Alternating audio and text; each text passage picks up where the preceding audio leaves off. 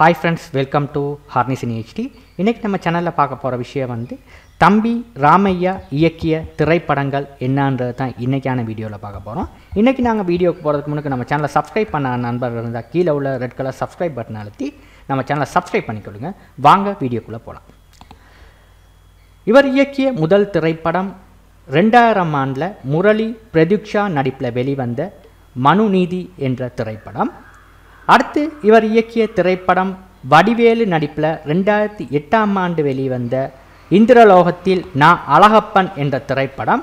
அடுத்து அடுத்து ரெண்டாயிரத்தி பதினெட்டாம் ஆண்டு வெளிவந்த மணியார் குடும்பம் என்ற திரைப்படம்.